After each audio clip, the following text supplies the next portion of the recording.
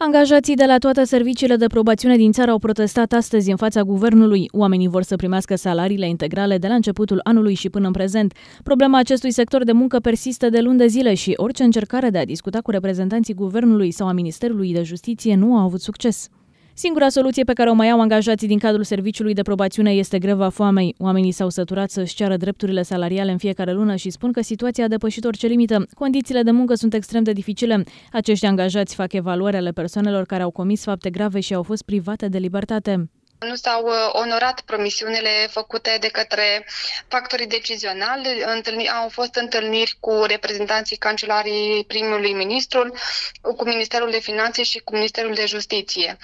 Din păcate, în urma tuturor acestor întâlniri și acestor demersuri, nu s-a uh, realizat nimic concret. Mai exact, nu s-au pus în plată salariile cuvenite și recunoscute prin Ordinul Ministrului Justiției din august 2023. Concret, angajații nu au mai primit salariile integrale din luna noiembrie, iar ordinul de mărire a salariilor nu a fost pus în practică începând cu 1 ianuarie anul trecut, deoarece pe fila de buget aferentă nu au fost prevăzute fondurile necesare. Dacă în Ministerul de Justiție nu se face dreptate, ne întrebăm atunci, ca cetățean, unde se face dreptate în această țară. Se pare că nici la această dată consilierii de probațiune nu au fost primiți cu prea multă deschidere.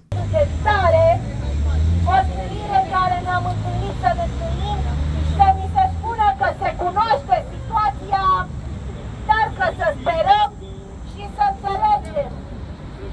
Doamnă! La nivelul întregii țări, în greva foame au intrat 50 de consilieri din alte 8 județe.